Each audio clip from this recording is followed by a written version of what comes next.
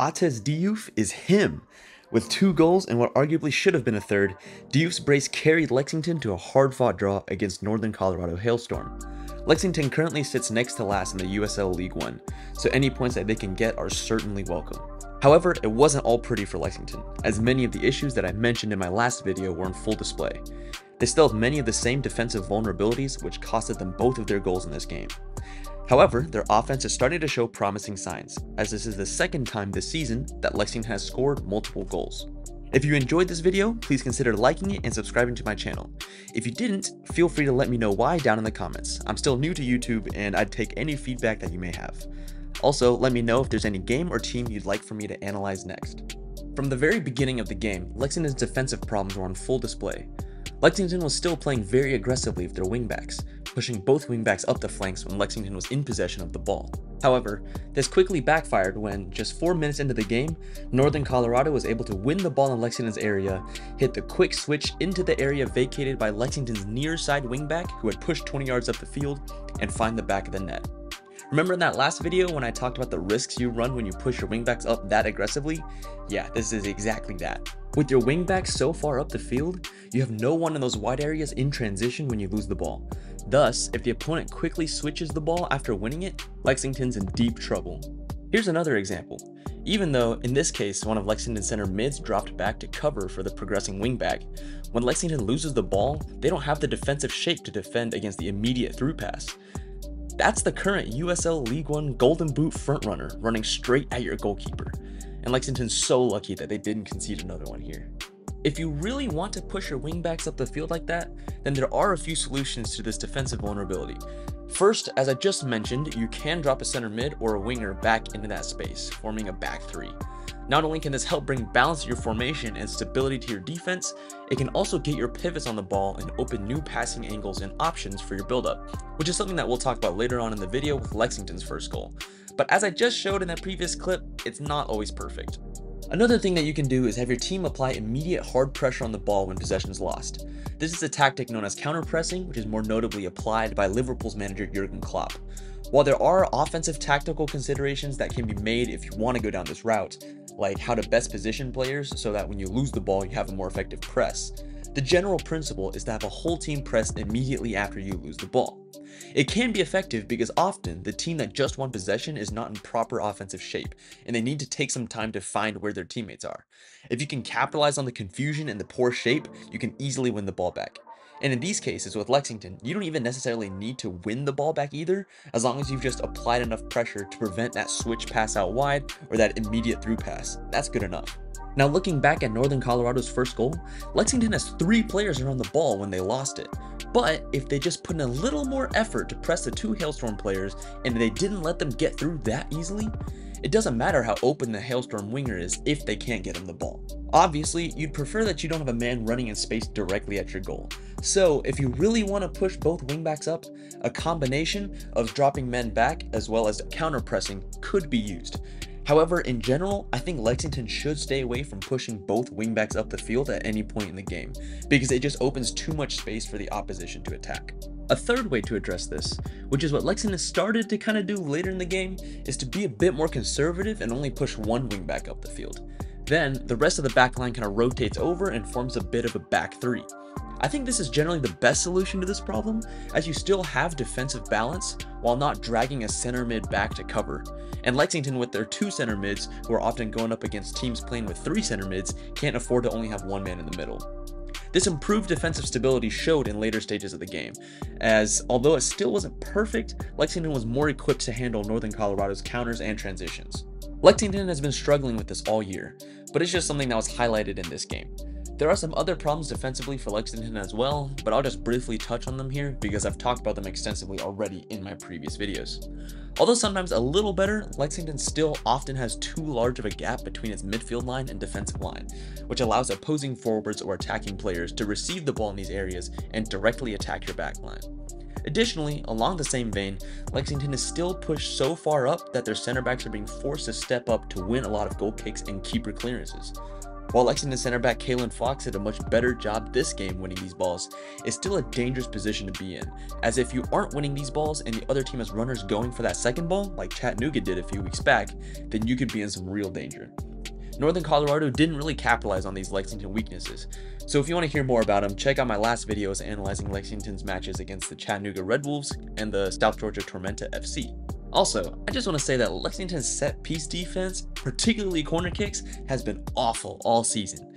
It's not that the other team scores directly off a header from the corner, but it's that there have been way too many times where the ball ends up bouncing a few times right in front of Lexington's goal before the opposition taps it in. This is elementary stuff, but you really can't be letting the ball bounce in your own box like that. Okay, enough about defense. I want to spend some time and talk about Lexington's offense in this game.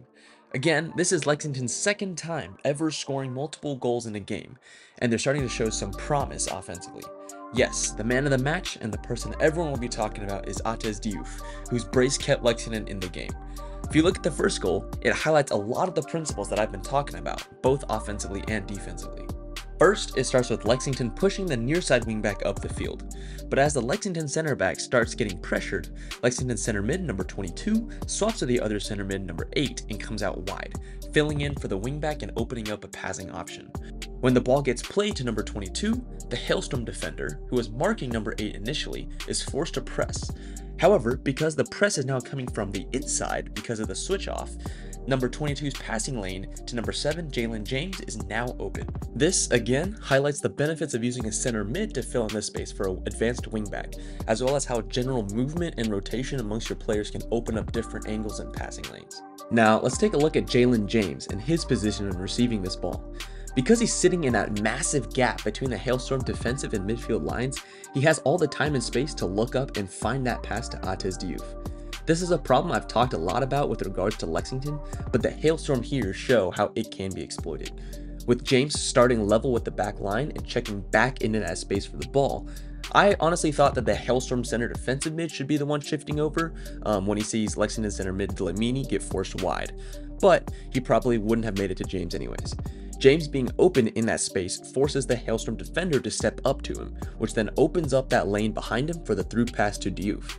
Again, having so much space between your backline and midfield line is dangerous, as when opponents can get that ball in that space, it forces commitment from your defenders and thus creates open space behind them for the opposition to exploit. And finally, James plays this beautiful pass to Diouf, who is one of the few Lexington players sitting on the Northern Colorado backline, and Diouf is able to run through on goal.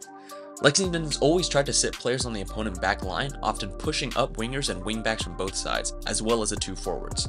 The benefits of Lexington having so many players sitting on the opponent's back line is that A, some teams will be scared and drop some players back, opening up more space in the middle, and B, if you can get players on the ball in front of the back line, like James here, then you can play some dangerous through passes on the ground or over the top that players can run onto. With so many players in position, you're almost bound to have an angle that works. Usually, Lexington doesn't really go for this that much, often trying to play through the wings instead, either building up with the wide players or trying to hit a long ball from a center back to a winger, and then trying to get a cross off. However, they haven't really been that successful with this, as they struggle to get into crossing position, and usually their cross quality isn't great. And even if it is, they don't really have the aerial threats up front to get on the ends of those balls. What they do have though is pace up front, with the likes of Diouf, Nico Brown, Tate Robertson, etc., who can run after those through passes and be more direct on goal. Thus, I think Lexington should try and focus their attack through these more central areas, getting their players on the ball between the lines and feeding it through a pass to a quick forward player. This proved to work again with Lexington's second goal, where Machel is able to get the ball in the middle, in space in front of the opposition back line, and deliver a beauty to Diouf, who again slots it home. I've noticed over a few games that Machel really likes being in these positions, creating offense between the lines in these kinds of half spaces. And he's really dangerous here too, as evidenced by his free kick at the end of the game that arguably should have been Diouf's hat trick. This is probably the most dangerous I've seen Lexington so far in this USL League 1 campaign, and I think they should try to get themselves in these types of positions more in future games. Along those lines, as I was watching this game, I couldn't help but think that with the way that Lexington plays, that they could try a little formation change. Instead of using the standard 4-4-2 that they've been using all year, I think switching to a 3-5-2 could offer them more balance while still allowing them to do what they want to do. You still have a lot of men forward, so you can continue to overload the opposition's back line, but the key is that you also can do this without sacrificing defensive integrity. You can push your wingers high if you want, but if you're trying to hold on to a lead, you have the flexibility to drop them back into sort of a back five. Additionally, you have three in the midfield, which has both offensive and defensive benefits. Defensively, you can have one or two defensively focused midfielders who can better protect your back line and offer depth to your midfield line to help clog the space between the lines that I always talk about. Think about a Rodri from Manchester City or a Casemiro from Manchester United. Offensively, you have more options and angles centrally in the build-up. For example, if you play Machel as an attacking midfielder, you can relieve him of some of his defensive duties to better get him into those attacking half spaces to utilize his strengths in delivering those passes over the back line for one of your attackers to run onto. The main drawbacks of the 3-5-2 formation are its reliance on wingbacks as well as its vulnerabilities to overloads in the wide areas. However, Lexington already relies heavily on their wingbacks, both offensively and defensively, and I think that they're some of the better players on the team.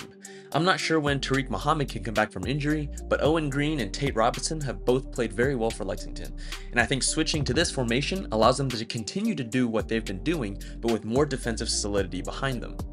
And regarding the 352's vulnerability to overloads in the wide areas, in what I've seen, very few USL League 1 teams really overload wide areas or can consistently take advantage of those overloads. And even so, some of Lexington's center backs have shown to be alright in 1v1 situations in space. For these reasons, I think a switch of formation would be an interesting idea for Lexington to look at. In total, I think this game was a good result for Lexington. They still have some structural defensive woes that are holding them back, but offensively, they're starting to be more dangerous. Now, it's just a matter of how well they can manufacture and get into those dangerous positions and start putting goals in the back of the net. Thank you all so much for watching. Let me know what you think of Lexington's performance down in the comments below, and I'll see you all soon.